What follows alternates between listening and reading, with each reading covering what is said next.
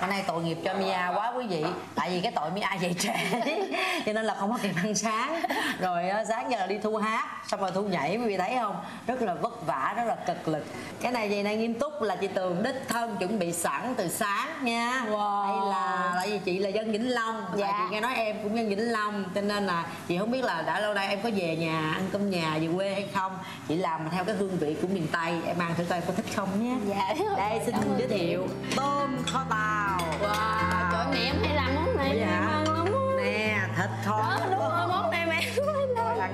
à, bình thường có khi nào trong cuộc sống mà em chia sẻ tâm sự gì với mẹ không?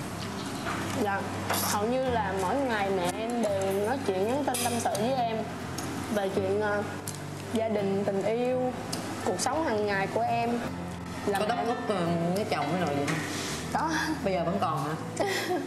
Ngày xưa cũng nhờ kêu đi lấy chồng cho nên Mia mới được làm ca sĩ á. ủa rồi sao? Làm kêu em đi lấy chồng em không chịu á lúc đó thật ra là em có bỏ nhà ra đi trong vòng 2 tiếng. Xong rồi cái um, mẹ em bắt về mẹ em thấy cũng thương quá nên mẹ em cho đi làm ca sĩ. Mình ăn cơm xong Dạ. mình sẽ đi nhà Mia để nghe những bài hát mà Mia đã sáng tác. Rồi sau đó thì à, mình về nghỉ ngơi và chờ đợi cho Mia nghỉ ngơi và trang điểm tối thì mình sẽ xem Mia biểu diễn nha quý vị